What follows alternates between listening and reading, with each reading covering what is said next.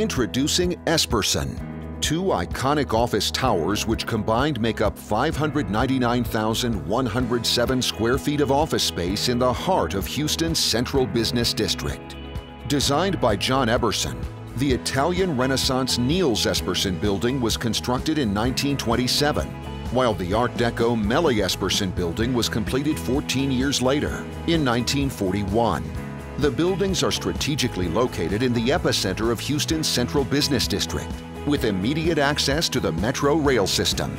Additionally, the building benefits from four connections to the downtown Houston tunnel system, a 7.5 mile long subterranean network of tunnels that connects 95 city blocks and 80 buildings, with climate controlled access to over 110,000 square feet of amenities, including restaurants, banking, personal services, convenience goods, and downtown's two newest food halls, Finn Hall and Skanska's understory.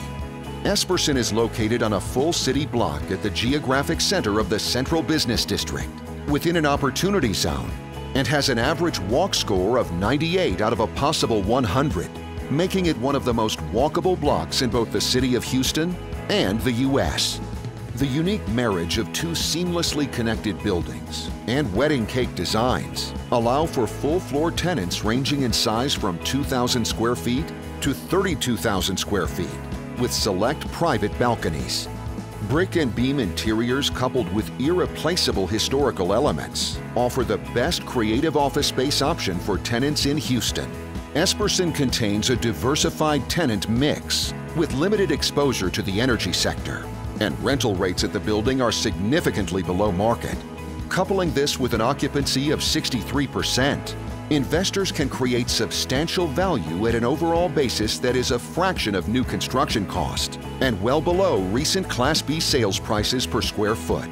Investors will also benefit from over $10 million in recent capital improvements. The upgrades to the building's lobby, systems, and amenity base have strategically positioned Esperson to capture Houston's office market recovery.